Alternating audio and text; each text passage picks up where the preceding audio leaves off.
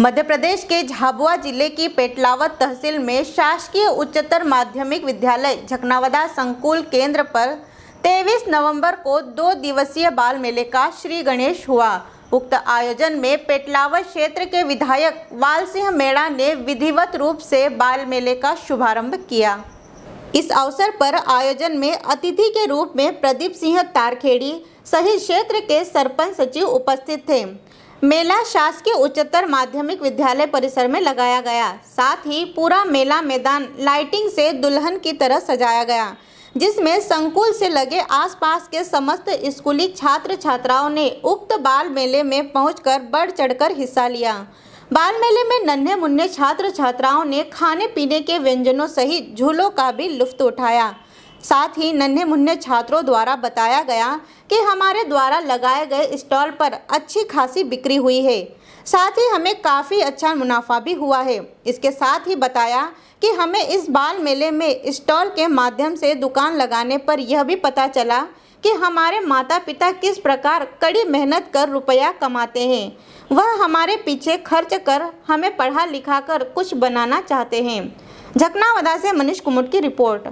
ये हुआ मतलब झकनावदा के इतिहास में बहुत फ़र्स्ट बार ऐसा हुआ है और बहुत अच्छे स्तर से हुआ है और बच्चों को भी बहुत ज़्यादा इंजॉय कर रहे हैं।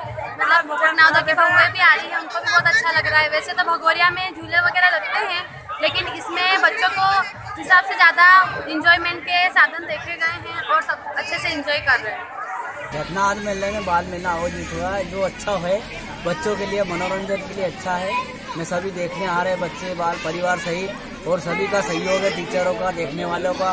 और बढ़िया अच्छा प्रोग्राम है, बच्चों बहुत आनंद, खुशी से ले रहे हैं इस मेले में। ऐसा हर साल मेला पड़ना चाहिए। हम चाहते हैं कि बच्चे इस, हर साल इस खुशी का, आनंद का, मौका का फ़ायदा उठाएँ और बच्चे खुशी से अच्छी पढ़ाई भी करें और खेल कूद भी करें और मेला भी देखें। बहुत अच्छा ही आयोजन किया है और जगन्नाथ के इतिहास में पहली बार ऐसा मेला लगा है। और इससे बच्चों को भी बहुत मतलब इंजॉय कर रहे हैं बच्चे भी। दो दिनों में बच्चों ने बहुत मतलब पूरे साल भर की शायद वो खुशी महसूस की है। और बहुत अच्छा है ऐसा मेला हर साल लगना चाहिए। और बच्चे इससे बहुत कुछ सीखते हैं। और जगन्नाथ के जो आयोजक है इस कार्यक्रम के जो भी प्रबंधक है संकुल के जो है, उनको भी बहुत बहुत धन्यवाद। और हमेशा आए आने वाले दिनों में भी ये ऐसे ही लगता रहे मेला